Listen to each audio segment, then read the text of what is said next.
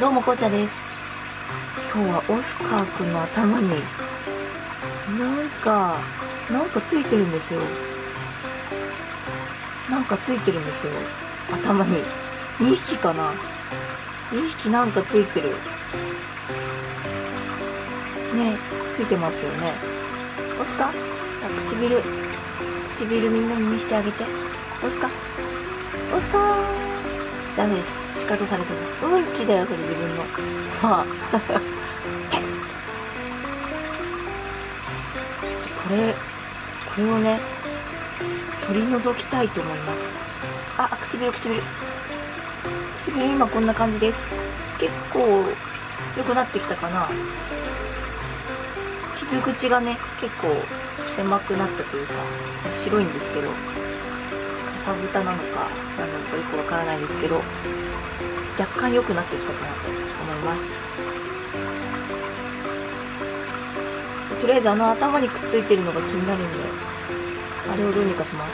じゃあまずはオスカーを左手で。オスカーもうちょっと上来て。ピントが合いません。ピントが合わない。ピントが合わないんですけどえー、この頭に何かついてる謎の物体取りたいと思います。ピンセットでね。よ。っわー取れた。取れました。ちょっとこれは後でここに乗せとこう。1匹だけか？オスカあら。沈んでっちゃった。オスカちょっとおいで。もう一回もう一回もう一回。はいはいごめんよ。はい。はいよ。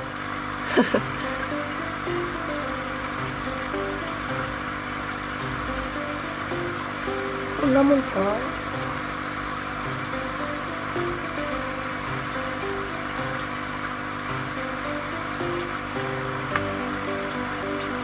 丈夫？取れたね。あーなんか頭に穴開いちゃってる。いやもう一匹いるな。もう一匹いるな。もう一匹います。はいごめんごめん。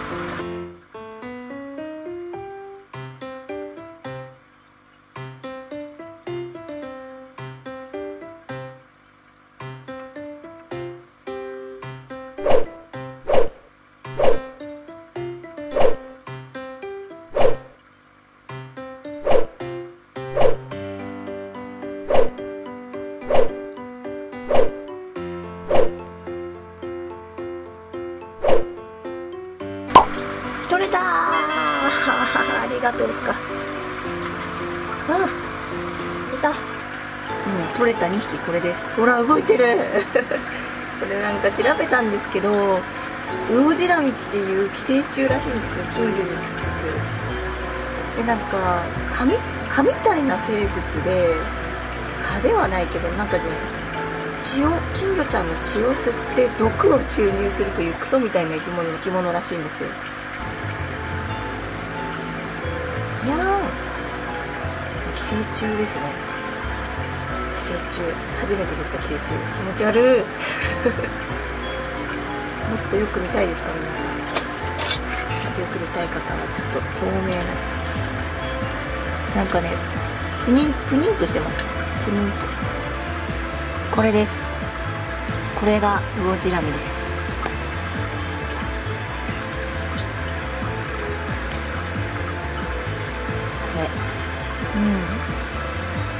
これ以上はねピントがきつい。これがウオジラミです。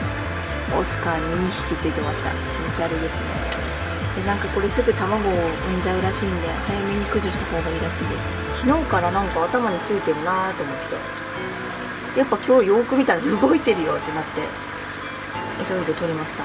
でこの傷口から白カビ病とかの原因になるらしいです。オスカーくん頑張って治そうねいろいろ。やだね。他はついてない？他は大丈夫だよね。これは違う。これはカビだね。カビは後で親指で取っときます。どからついてきたんだろう。何も入れてないはずなんですけどね。あでもなんか剥がし心地は良かったです。ペリペリペリペリって感じで。結構頑丈にくっついてました。あー頭が痛々しい。ちょっとご飯食べとく？ほら。あご飯食べてる頑張って直していきたいと思います。最後までご視聴いただきありがとうございました。よければグッドボタンチャンネル登録よろしくお願いいたします。最後までご視聴いただきありがとうございました。よければグッドボタンチャンネル登録よろしくお願いいたします。